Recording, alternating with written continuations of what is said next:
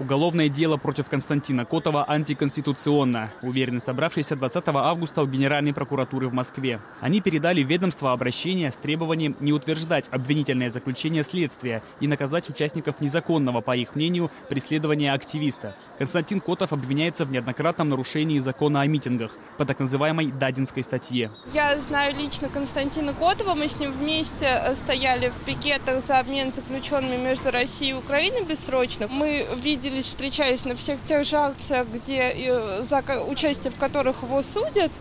Э, я видела, что акции проходили совершенно мирно, э, и кроме полиции никто никаких противоправных действий не совершал. Я, в принципе, выступаю против за отмену статьи 212, я считаю ее неправомерной, неконституционной. Нет никаких аргументов, никаких оснований называть то, что происходило тогда, массовыми беспорядками. Вот. И, соответственно, Константин Котов не принимал участия ни в каких массовых беспорядках, он не поджигал никакие машины, не кидался ни в кого никакими шинами, он просто был в числе тех людей, которые вышли выразить свою позицию. То есть это абсолютно мирная акция. Константина Котова задержали 13 августа. Тогда же предъявили обвинение. Уже спустя два дня в правоохранительных органах заявили об окончании следственных действий, дав на ознакомление с четырьмя томами дела три дня. Главе движения за права человека Льву Пономареву такая скорость расследования напомнила методы работы сталинских расстрельных троек. Следствие по аналогичному делу у коломенского активиста Вячеслава Егорова, рассказывает правозащитник, длится более полугода. По всей стране десятки тысяч э, штампуют административных дел, э, штрафы там или, может быть, сутки дают абсолютно в пустом месте, абсолютно незаконно.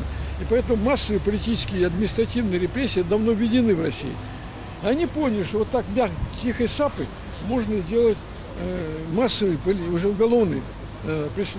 Константин Котов – гражданский активист и регулярный участник протестных акций. Свою вину он не признает и считает дело политически мотивированным. На заседании суда по мере пресечения он заявил, что его дело нужно для запугивания других протестующих.